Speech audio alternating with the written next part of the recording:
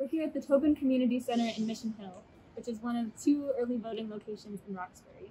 We're here to talk to voters and get their experience and perspectives. Gloves, masks, masks, awkward. Um, instead of putting in the machine myself, I'm, I'm handing it to someone to put it in. You know, to watch me do it, it's very awkward. But Multiple people that we talked to mentioned that this is their first time voting early, and that they chose to vote early out of fears that their absentee ballots would not be delivered. Recently, I've seen a lot of people lose mail. Um, like when you send, like with the pandemic, when you send mail, like I've sent mail out of the country multiple times in the last few months, and it's getting lost. So that's the thing with the absentee ballot. I was gonna vote by mail, but there's so much um, doubt about it. I like, and I'm hearing it from everybody else. They want to make sure that they see their their vote get in that machine.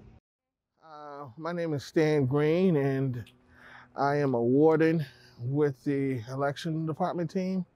And this particular component here, we're doing the um, early voting, and I will function in the capacity of an inspector today. As an undergraduate at Springfield College, a big part of um, human service was giving back and understanding what my role and what my obligation is to civic engagement. Roxbury is a historical and diverse neighborhood in a city with a history of racial tension. Unfortunately, voters here have not found long lines or wait times, and the process has gone quickly and smoothly. I can't speak much about early voting because this is my first time, but I know how it is on the day, the voting day. And um, it's lines go all the way up to the street, but that's not happening. You get to walk in and walk out. Any other time, I'd be standing in the line. So I think I think you'll spirit. I think I made a good decision by coming early. So many lives have lost. You know, it was sad the way I got it.